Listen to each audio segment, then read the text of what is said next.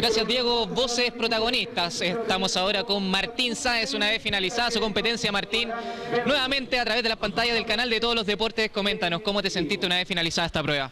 Eh, la verdad no fue, fue mala la carrera, siendo súper honesto. Es la primera del año en 110, habíamos tenido una buena temporada indoor, que ahí son 5 vallas, ahora son las 10 vallas.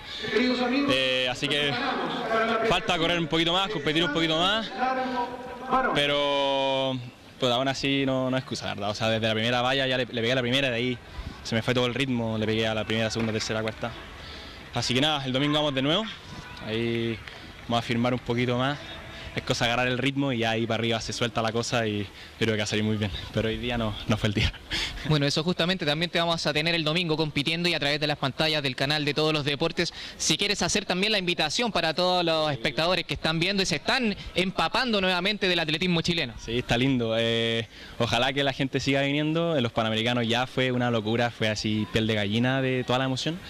Eh, acá el Recordón también tiene harto, hartas butacas, se podría llenar mucho más. Obviamente se entiende que ahora fin de semana largo, qué sé yo.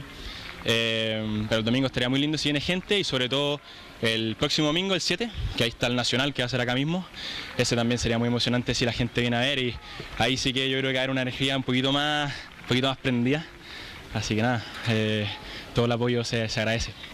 Martín, para cerrar también coméntanos un poco de tu calendario deportivo, al menos lo que tienes considerado para la presente temporada. Eh, bueno, el calendario comenzó acá.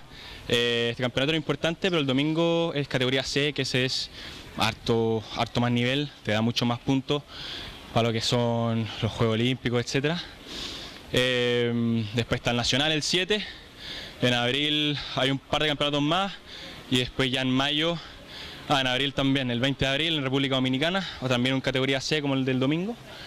Después en mayo está el Iberoamericano, que es bien importante en Brasil.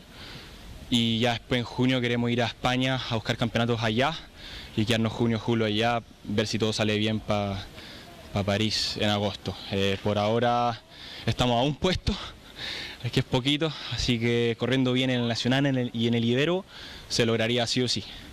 Eh, así que nada, hay que achuntarle a eso.